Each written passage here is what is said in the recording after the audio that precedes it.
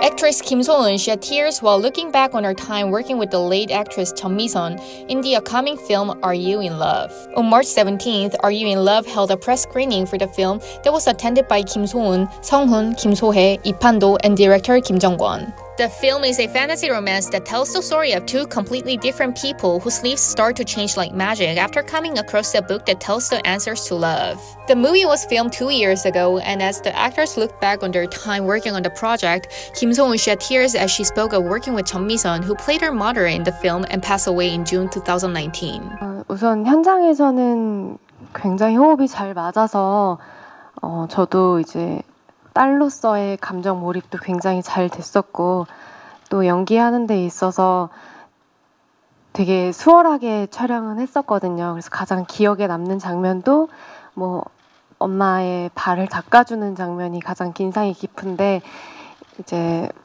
음, 선생님께서 어 그러고 나시고 제가 조금 마음이 좀 안 좋았는데 South Korean well-known actress Jeon Mi-sun passed away last June at the age of 48. Her manager, who raised the alarm after Jeon had gone missing for two days, said that Jeon had been suffering from depression. The late Jeon Mi-sun had received treatments for depression.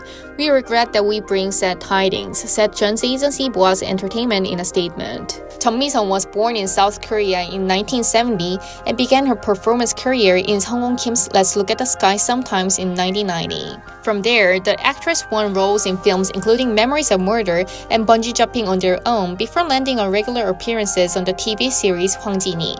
Starting from Hwang Ji-ni, she starred in many drama series such as Moon Embracing the Sun, Who Are You, and Love in the Moonlight. During her career that spanned almost 30 years, Jeon was the recipient of many awards in South Korea, including several KBS Drama Awards and recognitions from the Golden Cinema Festival and Korean Culture and Entertainment Awards. This was Sumi Yu from Korea Now.